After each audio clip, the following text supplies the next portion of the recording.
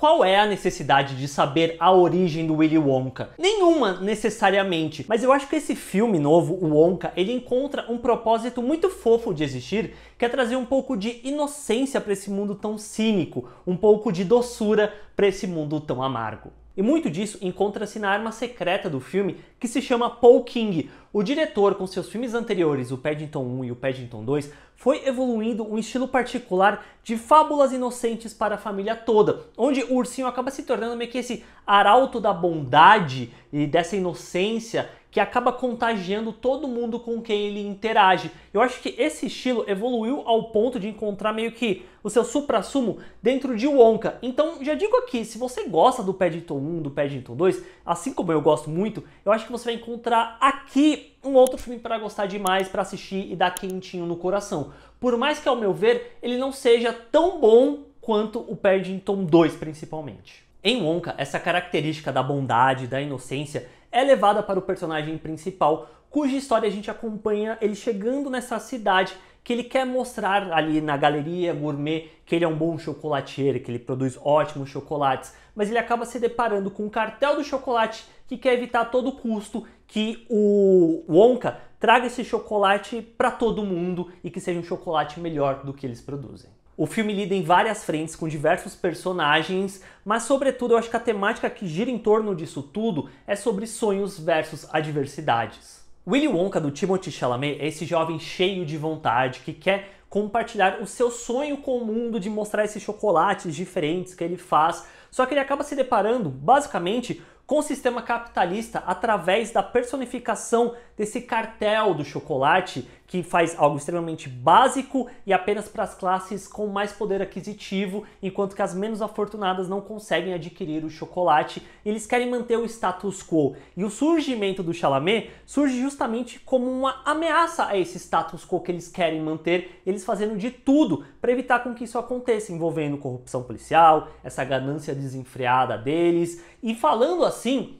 parece até algo mega sério, mega dramático. Só que tem essa camada toda fantabulesca dentro dessa história que torna tudo mais leve de ser assistido e justamente para alcançar a família toda. Onde os personagens, por sua vez, entram nesse tom fabulesco, eles se tornam quase caricaturas, sejam os que estão do lado do Onca, sejam os que estão contra ele, onde eu vejo o Timothée Chalamet servindo como um ponto de equilíbrio para isso tudo. Ele é o menos caricato de todo mundo ali, eu sinto. Por mais que tenha ali uns trejeitos, umas loucuras do personagem, mas ele sabe comedir isso muito bem, para evitar que ele passe do ponto e se torne, por exemplo, o que o Johnny Depp foi no filme de 2005, lá na Fantástica Fábrica de Chocolate.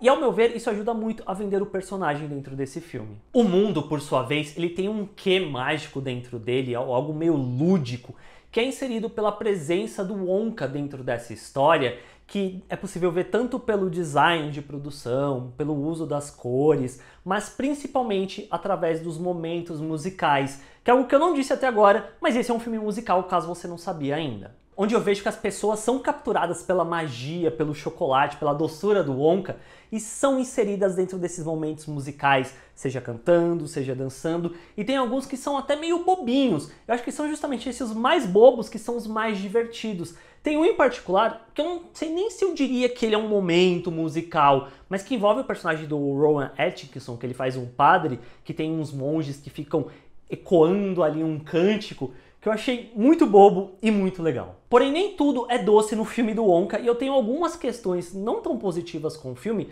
sendo uma delas o ritmo, que por mais que não seja exatamente um filme longo, ele vai de um ponto para o outro, quando a gente chega na parte final, a gente chega no terceiro ato, eu sinto um problema de ritmo por conta que a narrativa tem um excesso de personagens e isso acaba sendo refletido nessa parte, no sentido de que a gente tem uma resolução dramática e narrativa envolvendo a figura do Wonka, que deveria ser um pico, só que aí em seguida a gente tem a questão envolvendo uma outra personagem que faz parte da história dele, aí tem uma outra resolução envolvendo o Umpa Lumpa, que traz um, inclusive o Umpa Lumpa do Rio Grant, muito bom, é o Rio Grant sendo o Rio Grant, ele aparece pouco no final das contas, mas traz ainda uma carga imbuída ali de sentimentos por conta que evoca ao filme da década de 70. E aí, quando o filme acaba, durante os créditos, tem uma outra volta à resolução de personagens que ficou meio que para trás. Só que ao mesmo tempo que funciona como uma piada, também reforça esse ponto que eu disse, que é muita coisa precisando ser resolvida e parece que o filme deveria ter um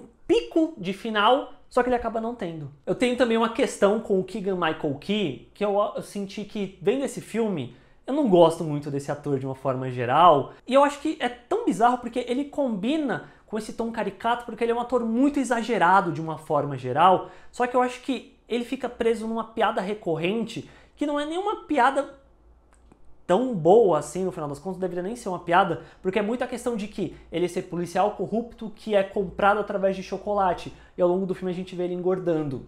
E meio que é só isso. Esse fator não deveria ser exatamente uma piada também, por mais que eu entenda dentro do tom fabulesco que existe nessa obra, mas ao mesmo tempo parece algo tão datado e ultrapassado. Uma outra questão que eu tenho com esse filme envolve a figura do Wonka, no sentido de que o filme deixa de explorar as nuances desse personagem que o farão se tornar o Wonka da fantástica fábrica de chocolate. Depois que eu saí do filme, eu fiquei muito pensando sobre isso, porque eu não consigo ver aquele Wonka do futuro na figura desse Wonka aqui, nem que fosse no sentido de que ele é esse jovem bondoso, acolhedor, inocente, mas ele vai se deparando com essas adversidades e com esse sistema que vão moldá-lo a se tornar aquilo. Eu acho que isso não acontece direito dentro do filme.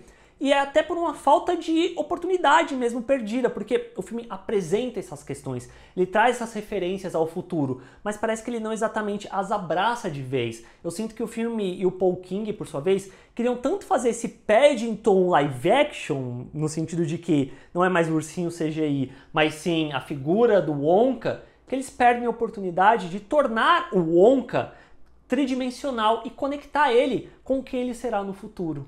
Mas nada que estrague a experiência geral do filme, que para mim como um adulto eu senti que era esse pouquinho de doce nesse mundo amargo que a gente vive na maior parte do tempo. Mas eu consigo ver claramente um público mais jovem, mais infantil, assistindo esse filme e se deslumbrando num nível quase parecido com o que eu senti quando eu fui ver o primeiro Harry Potter nos cinemas e ver esse mundo mágico, ficar maravilhado e gostar daquele filme por tudo aquilo que ele era.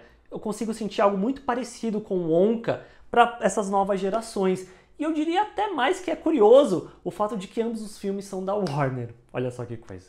E eu deixo aqui para vocês a pergunta: vocês curtem a Fantástica Fábrica de Chocolates? Qual versão é sua favorita? Deixa aqui embaixo nos comentários. Assina o canal para fazer parte aqui da comunidade do Bilheterama e a gente chegar nos 100 mil inscritos. O joinha vai ajudar isso demais, não te custa nada, é só você clicar no joinha. O YouTube vai entender que esse vídeo é legal, vai recomendar mais pessoas. E eu continuo fazendo meu trabalho por aqui e a gente se vê na próxima. Tchau, gente.